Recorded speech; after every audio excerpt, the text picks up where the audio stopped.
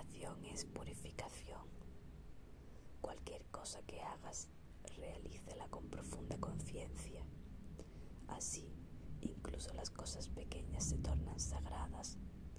Entonces, limpiar o cocinar se vuelven cosas sagradas. Se hace culto de ellas. La cuestión no es la actividad que estás realizando, sino cómo la estás haciendo.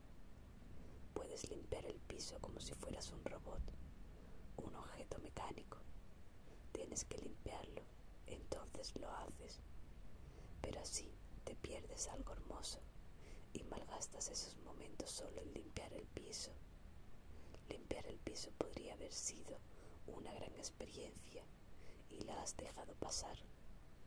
El piso está limpio, pero algo que podría haber sucedido dentro de ti no se produjo. Si hubieras estado consciente, la purificación no hubiera afectado solo al piso, sino también a ti mismo. Limpia el piso pleno de conciencia, iluminado de conciencia.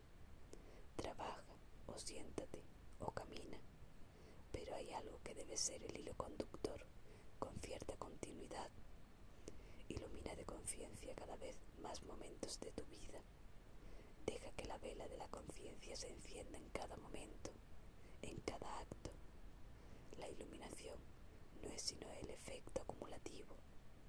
El efecto acumulativo, todos los momentos juntos, pequeñas velas juntas,